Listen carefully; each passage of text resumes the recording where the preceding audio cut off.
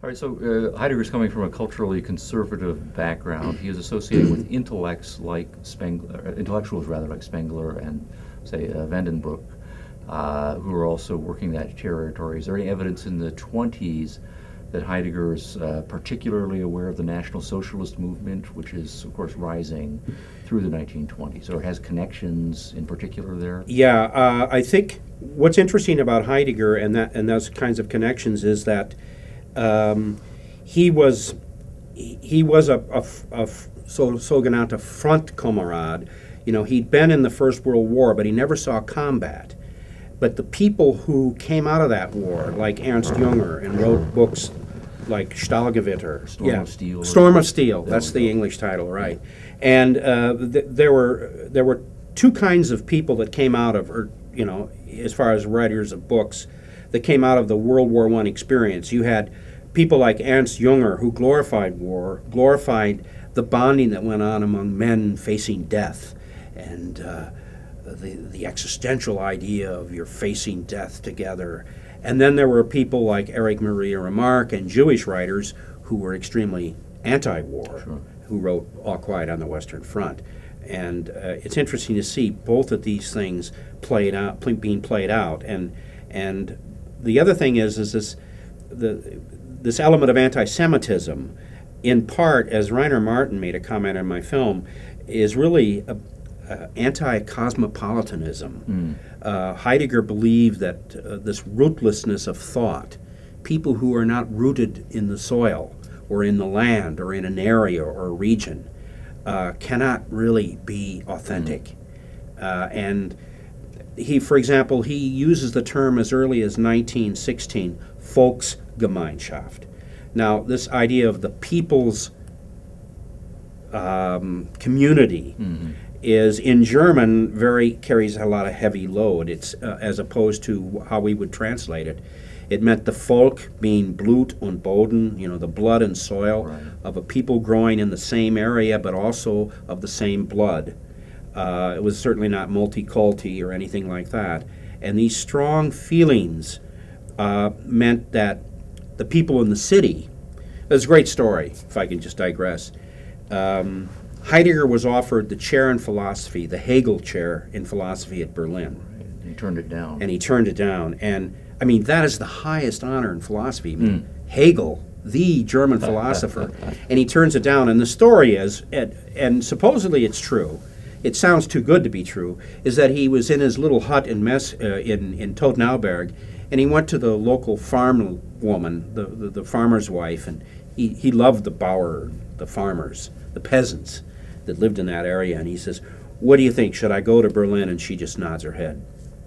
And so he writes his letter. Didn't, you know. so yeah. he had he had this unbelievable romanticizing of of people who worked the soil, and as Rainer Marten says, uh, he never really got over uh, the uh, transition from a rural agricultural society to an industrial cosmopolitan one. Well, certainly, uh, in his uh, post-World War II writings, that comes through very Yeah, clearly. and then of course cosmopolitanism is a buzzword for anti-Semitism because the Jews, the eternally wandering Jew, they end up in city centers. They end up in finance. They end up in law. They end up in in professorships. Sure. And uh, That's frankly, a cosmopolitan community, both in banking and right, academics. Yes. right, and and uh, Heidegger was a farm boy, Mm-hmm. and frankly, I think he was uh, intimidated Mm-hmm. and uh, couldn't stand competition, Mm. and he'd have to, he'd have to, you know, you have to speak up when you when, uh, especially among Jewish intellectuals because they they. They come out of a tradition of reading the Talmud and discussing and arguing, and uh, they're, they're, there's, they're challenging at all times. Sure. Heidegger would profess an idea that he thought was uh, profound, and he just expected people to accept it for that. You know.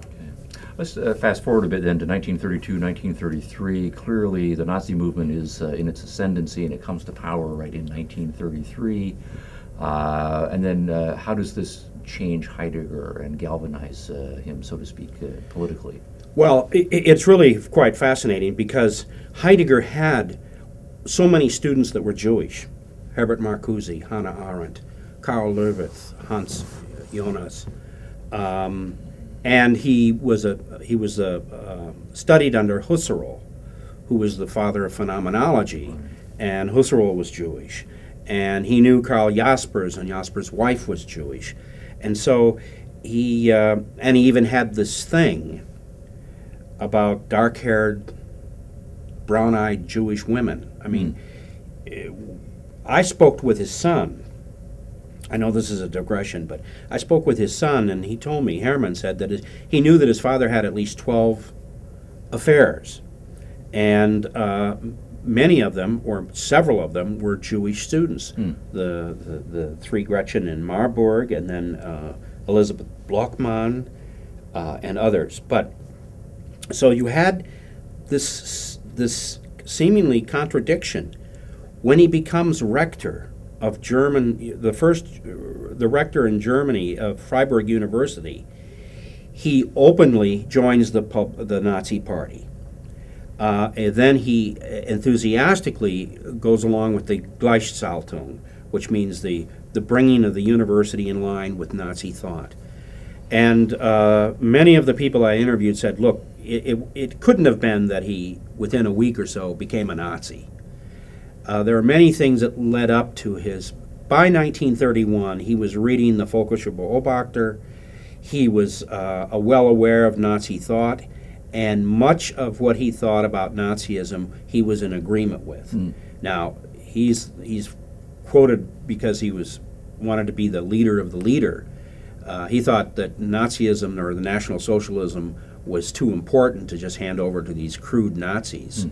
you know. Uh, but of course, they used him, and by the time the, the, the average Nazi didn't have a clue about philosophy, and so they, they didn't know who he was. I mean, in terms of how important he was to their movement, they just used him, and then they said, "Well, he, he, we don't understand what the hell he's talking about," mm.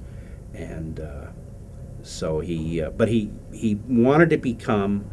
Um, um, a major leader in the academic circles he went uh, to a conference in Leipzig, I think it was, and uh, of university professors and university leaders. Does it still be 33? Uh, this would have been later. This would have been a little bit later, but s- around the 33 area. Okay. Yeah. Heidegger's uh, officially becoming a Nazi uh, in 1933. Yeah. And his ambitions there and how he was used or not by the Nazis. Yeah. It was both. Yeah. Yeah. It was both. Uh, but he uh, uh, again, he believed that in in in the uh, certain essential aspects of National Socialism that were the hope for uh, Germany, mm-hmm. and to keep it in context, um, fascism in the 20s and 30s didn't have the pejorative. Right, Definitely, right. Uh, in fact, many people, young people, political leaders, etc., believed that fascism was the way to go to counteract Bolshevism, communism on the one side, and mad dog capitalism and American modernity on the other. And uh, if you look at it in that context, you know, it, was very attractive for a lot of people. Um, and uh, but there's still there was still this element of anti-Semitism, which is uh, not to be all right, so after coming to power in the 30s, the Nazis then go a long way to implementing their program. World War II breaks out. Uh, they end up losing that war. News about the Holocaust uh, right emerges. Uh, let's turn to Heidegger's reactions or, or, or, his inactions, right, so to speak, after World War II. He lived until 1976, right, I believe, so he lives another 31 years. Um, and one of the interesting issues here is that he never recants right on his uh, National Socialism, uh, never says anything about the Holocaust and so forth. Uh, why do you think that was? It's interesting. I've thought about this for a long time, and the only way that it makes sense for me to try to understand this is my wife, uh, who was a clinical psychologist uh, and uh, did a lot of therapy for many, many years she said he was a narcissist. And there's no doubt that he was a narcissist. And that narcissists cannot see themselves, even if it's shown to them right in front of their faces, the narcissist cannot see themselves as being wrong. It's just not in their picture build. Mm. On the other hand, what's interesting about Heidegger is I mean, you take somebody like um, Hans Georg Gadamer. You know, he at a time was an enthusiastic Nazi, and but what Gadamer did was he took all of his writings that he wrote during the Nazi period and pulled them out of circulation and rewrote them and re- changed them, and many of those things he published later after the war became major works of Gadamer. Okay, Heidegger refused to do that. He he was sort of, sort of a stubborn kind of of I don't want to say honesty, but he he left all of that stuff in. You know that he thought that National Socialism was the the last hope. And, You're giving a kind of a psychological interpretation that he is a narcissist. Yeah. can't admit that he's wrong, right, Yeah. and so forth. Um, what about a, an intellectual interpretation, which would be to say that he still believes that the philosophy, or his philosophy is correct, uh, or that his political philosophy is correct, uh, at least in principle, um, and so he doesn't see the, the need to change anything. that's right, and that that is also true. Then there would still be an issue of his particular connections to Hitler and the Nazis and the issues of the Holocaust. If he wants to preserve the philosophy as a theory, he would at least be making some distancing, saying that the Nazis perverted it or they didn't carry out the program correctly, but he didn't do any of that either. No, uh, it, it's it, it is uh, a mind-boggling issue in many respects. Herbert Marcuse wrote him a letter saying, pleading, look, just step back, make an apology, point out that you were wrong here and here and here, that it was wrong to lead young men to Nazism. And Heidegger refused to do so, and I think in part because he didn't think it was wrong. Hmm. Hermann Heidegger, Yeah. who's the son of his father being Martin Heidegger, and he makes a quote that's not in my film because I was not allowed to use it, in which his father said to him, My ideas and my philosophy, the Germans are not yet ready for it, but maybe in another hundred years. And there are some very conservative, nationalistic, right wing, if you want to use that term, German thinkers, cultural thinkers uh, today that just worship Heidegger and think in those same terms that the time's not yet right for this great philosophical truth to find its fruition in Germany. Now, the thing about it is, is it's still highly nationalistic. It's German. If you talk to Heidegger scholars like Ted Kisiel and others, um, there are elements of Heidegger that are being used by scholars in Japan, in Asia, in Russia, even in, in other parts of the world, who um, take Heideggerian insights and apply it to their own language. Uh, so the, there, the, there is something in Heidegger that, that is fascinating and is of value.